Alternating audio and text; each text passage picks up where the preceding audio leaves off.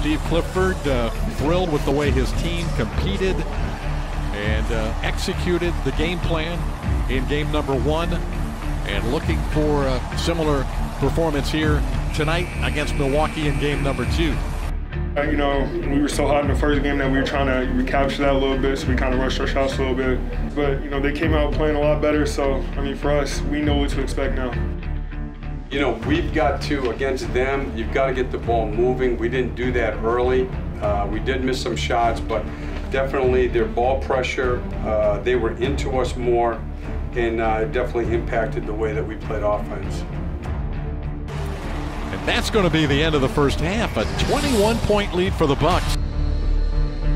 Well, I think in the second half, we, we, we played with more composure offensively. Uh, you know, we, we didn't kind of you know, rush into things. We weren't just taking the first good look we were getting. We're kind of making them work, and we were able to get a lot of very good looks, and uh, we're shooting a little better, but you know, we didn't get stops on the other end.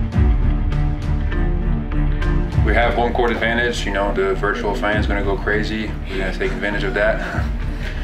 No, I mean, uh, no, but I think we, we, we, we showed that we can play you know, very well with them. You know, we made a lot of mistakes tonight, and uh, we still had a chance in the fourth. Uh, but you know, obviously we have to take care of those.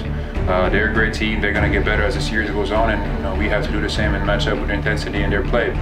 Steve Clifford knew that his team was going to be in for a battle tonight. Milwaukee would respond, and they have. We'll watch the film, and uh, I think we'll do a lot better on Saturday.